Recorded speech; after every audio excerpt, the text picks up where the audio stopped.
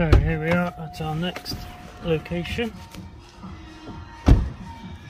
There's a bit of a, uh, a rave going on.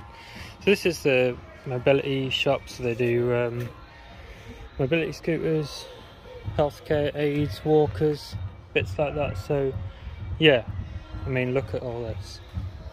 So you've got scrap metal there from stair lifts.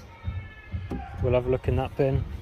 There's all sorts accessories, power adapters, chargers, batteries, you know, mobility scooter parts. So I've done alright here. Like I said, the accessories and stuff seems to sell.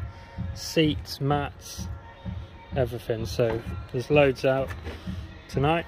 So like before, I'm going to have a, a rummage through, see what there is. That's just boxes. Uh, and then go through it with you.